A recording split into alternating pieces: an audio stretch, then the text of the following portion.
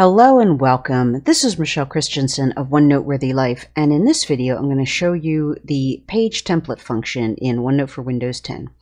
So as you can, as you'll see, this feature is pretty limited right now, so I do have a couple of workarounds that I hope you will find useful.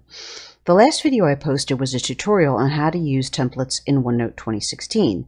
The template feature in OneNote 2016 is much more robust than it is right now in OneNote for Windows 10, but it's still worth looking at the Windows 10 version. If you want to see the OneNote 2016 templates video, it'll be linked in the description below. So just in case you're not clear about the two versions we're talking about, Windows PC users have two versions of OneNote that they can choose from right now. OneNote 2016 is the older version, but Microsoft recently announced that we would have more time to use it than originally thought. OneNote for Windows 10 is the newer version, but some of the features that people really love in OneNote 2016 have not yet been added to the newer version, so some people really do still prefer OneNote 2016. So I'm going to show you three topics in this video. The first thing is the template feature in OneNote for Windows 10. Then I'm going to show you a workaround that you can use until the template feature in OneNote for Windows 10 gets expanded. Um, and if that in fact happens, we're not sure that it's going to happen.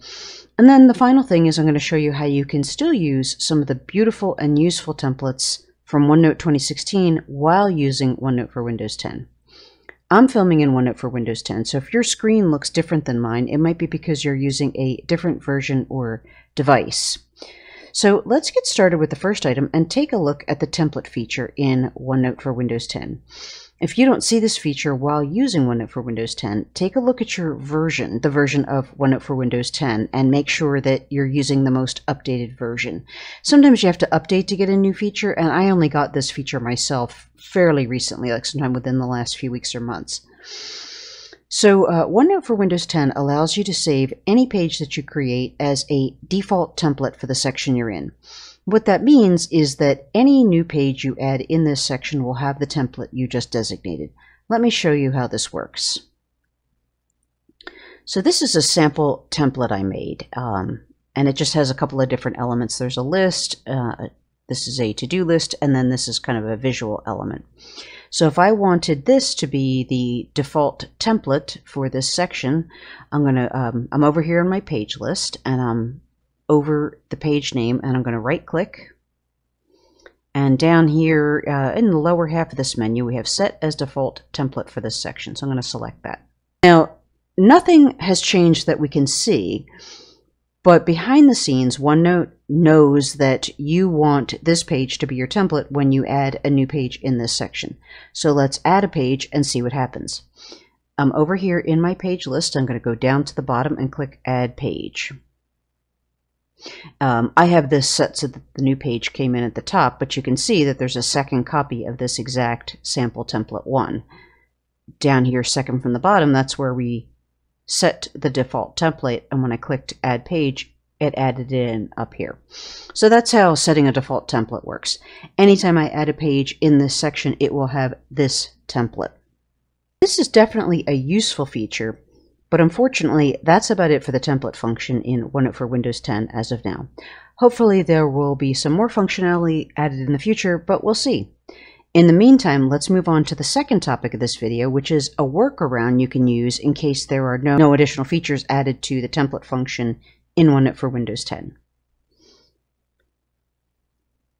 So this is a second sample template that I created, and we just looked at setting a default template in OneNote for Windows 10. And that allows you to select a single default template for a whole section. But what if you have five or six or even more templates that you regularly use that you want to keep? Um, if you do like to work from templates, there's a simple workaround that you can do, which is to save a blank copy of any page that you want to keep as a template. Whenever you need that page, you just create a new copy of the page. I'll show you how that works. So I'm over here in my page list and I'm on top of the page name for sample template 2. I'm going to right click and then we have move or copy. I'm going to click that and I'm going to keep it right within this same section and I'm going to click copy. And so now we have a second copy of this page. And if you wanted to create this copy in a different section, you could do that as well. So that's kind of a workaround for if you have a template that you want to use that doesn't want, you don't want to set it as the default.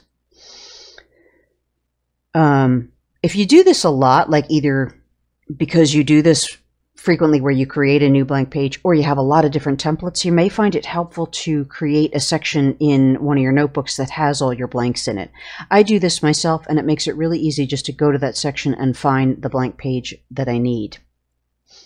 So the final topic of this video is to show you how you can make use of templates from OneNote 2016 while you're using OneNote for Windows 10.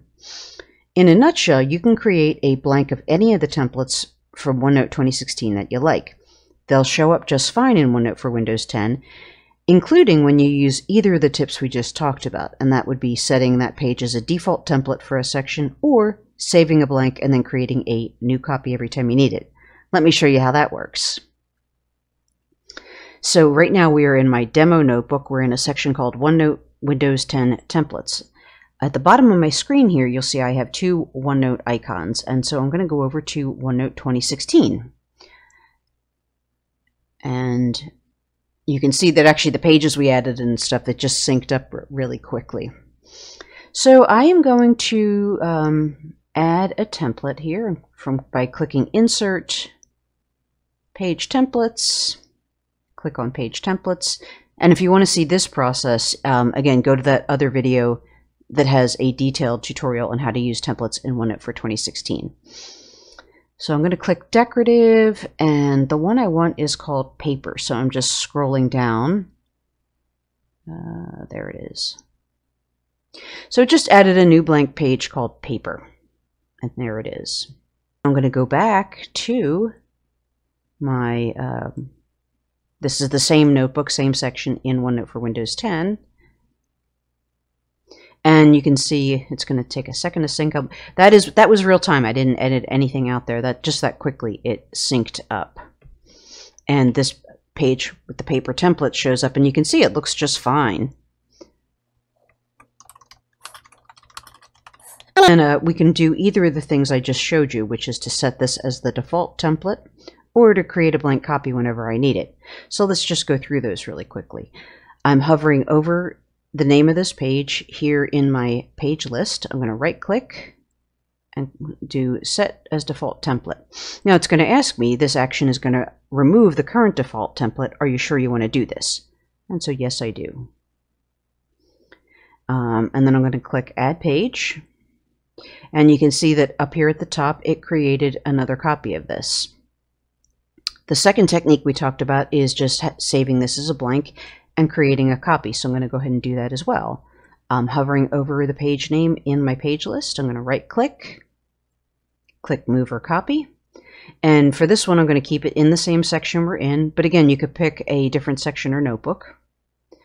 And I'm going to copy it. So now we have two copies of this. That's it. That's how templates are currently working in Note for Windows 10.